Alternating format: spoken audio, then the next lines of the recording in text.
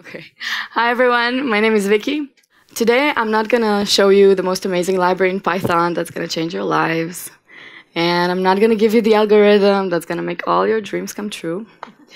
But what I am gonna do is I'm gonna show you how using the right technological tools with just the right amount of willpower can lead to changes in old industries. And I hope that by the end of my talk I will have lit a few fires in the crowd. So my story begins about a year and a half ago.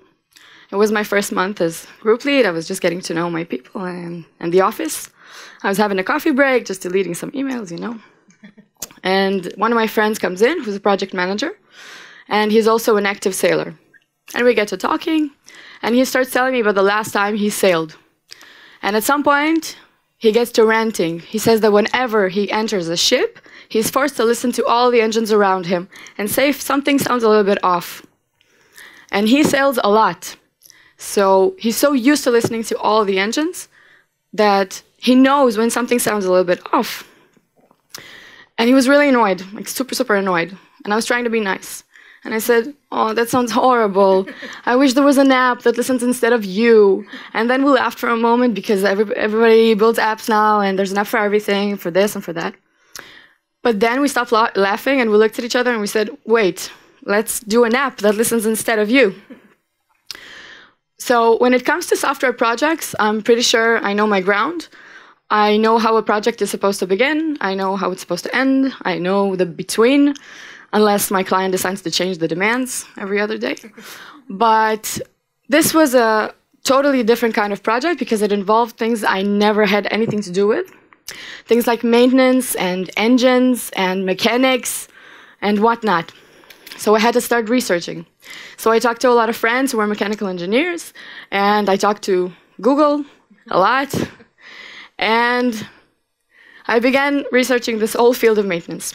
And I realized that today, in every, in every big company that relies on big machines, they do at least two types of maintenance. The first type is preventive maintenance. For example, when I take my car to the shop, I know that every 20,000 the car adds, the 25,000 kilometers the car adds, I have to go, take it to the shop, and come back a few hours later and get it in slightly better shape. So what they do is they clean the brakes a little bit to prevent anything faulty in the brakes.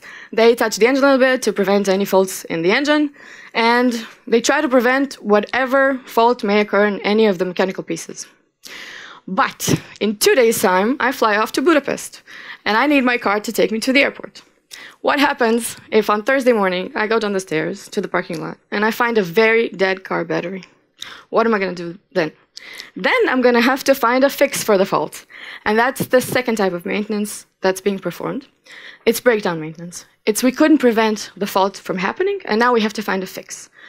Now, when it comes to cars, it's a little bit inconvenient, I know. We have to take the bus.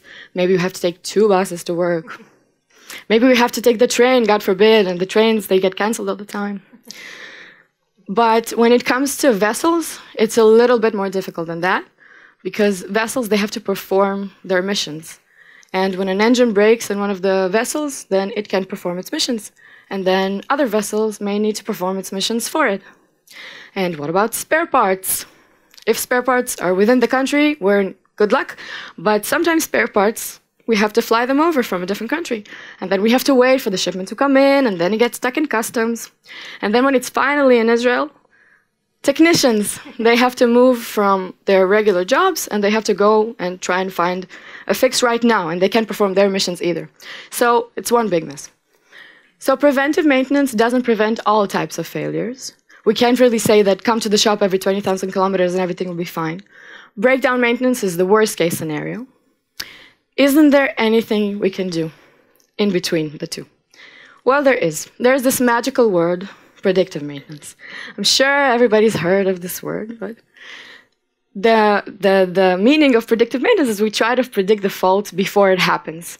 And the basis of this assumption is we need to know the engine itself as well as we, as well as we can, and that's how we predict the fault.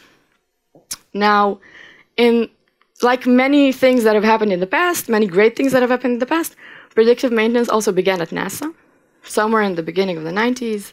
a bunch of mechanical engineers were sitting around a table, yelling at each other. We're not doing maintenance well enough. We have to do it efficiently. And in order to test this theory, they took 100 engines and they collected some data and they did some really simple equations. It was really the beginning of the beginning of predictive maintenance.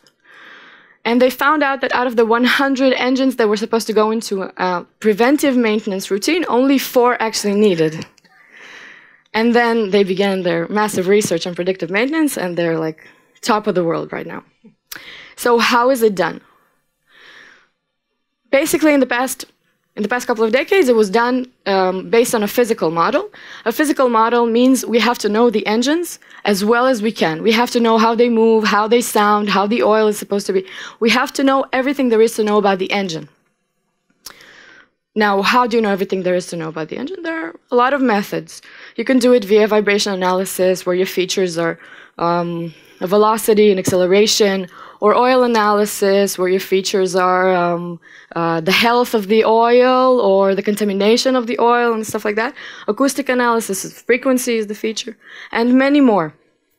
So for our project, we began going in this direction. We said, okay, let's try doing doing it with the physical model and see what we can get. So we started we started researching the vibration analysis, and vibration analysis this is something we really liked because it sounds amazing. Allows the user to evaluate the condition of equipment and avoid failures. Sounds amazing, right? And then we said, okay, it sounds great. They do their, their work behind the scenes, and then they have a really friendly UI because they know the client has to be happy. And I can actually see the picture of the engine and a lot of uh, green and red dots saying um, this part is good, this part is faulty. But there's one big problem with this, with this method, and it's we need a mechanical engineer with us every step of the way. And a vibration analyst is an actual profession. This is something I didn't know. it's something you have to learn, and you have to be super experienced in order to make uh, to make the model as accurate as we need it to be. So it's not like I can open a YouTube tutorial and see, hey guys, in the next four minutes, I'm going to show you how to become a vibration analyst. It doesn't work that way, unfortunately. So we had to move on and research another method. The second method we, we researched was really what was done at NASA. We said, okay, NASA know what they're doing. Let's, let's see what they're doing. So they took um, slightly different features. They took current and voltage, and they did the whole process a lot more efficiently because they automated it. They said, okay, we, we're going to automate the data collection and the analysis tasks. And we thought, okay, this sounds great. We can use this method. But then, um, but then we found three downsides, not just one. The first downside is, of course, in order to make the model as accurate as we want, we need to put a lot of sensors. Now, NASA has infinite budget. The Navy doesn't have infinite budget. It's not a secret. and um, the second, the second part is most sensors, I know you, you probably all know sensors, and most sensors that are accurate and they're good, um, they, they uh, have a Bluetooth or Wi Fi technology within them. And the third problem was the same problem from before. Even if everything is automated, the data collection is automated, the analysis tasks are automated, we still need, when, the warning, when there's warnings, we still need a mechanical engineer in the control room saying what it is. So we need a mechanical engineer every step of the way, from the beginning in the middle and all the way until the end. And then we said, okay, we don't have mechanical engineers just lying around waiting for us to, to give them tasks. I'm a computer engineer. My partner was a, an electrical engineer. What are we going to do? I said, okay, let's go find machine learning solutions. I don't know. And then we looked at the data science model. Now, the data science model, as you probably all know, it's a model that's based on the data. We only need mechanical engineers at the beginning. We need mechanical engineers to tell us how to look at the data and how to process the data and how to skip, uh, skip uh, stuff we don't want to hear and how to make the model as accurate as we want. But then, after we have an accurate model, we can actually continue by on our own. We don't need mechanical engineers holding our hands all along.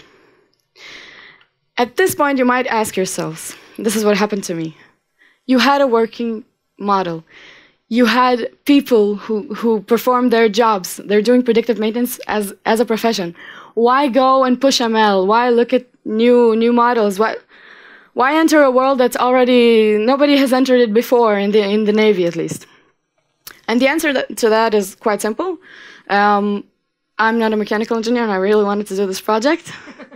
but the second thing is um, if we look at if we look at classic algorithms, uh, for example, um, face recognition. Uh, if we if we were to do a rule-based algorithm on face recognition, we would fail completely because there are too many rules. There are just too many rules for me, and that's why I moved from rule-based algorithm to data science algorithms.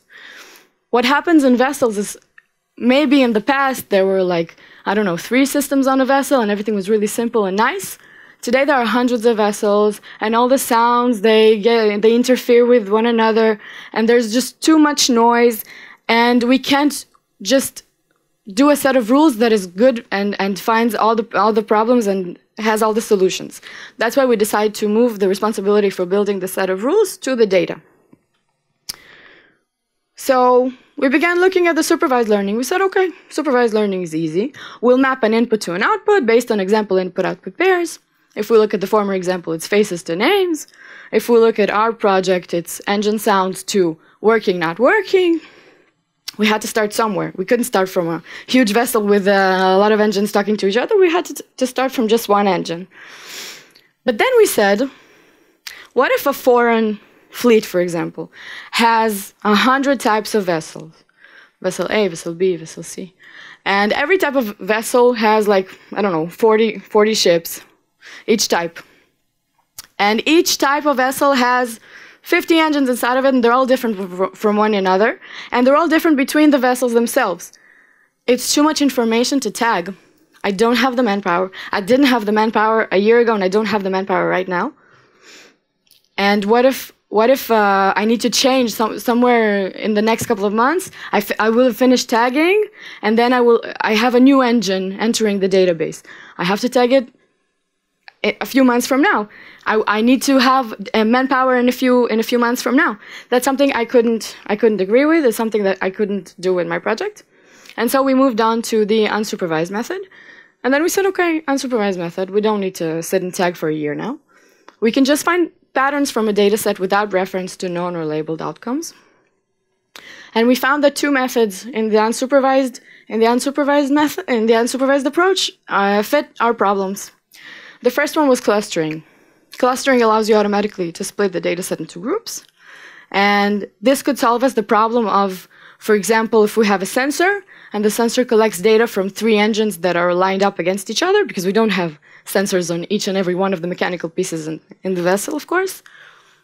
Clustering can help us define which, which, um, which of the information the sensor collects belongs to which of the engines. So that's the first part that unsupervised helped us solve.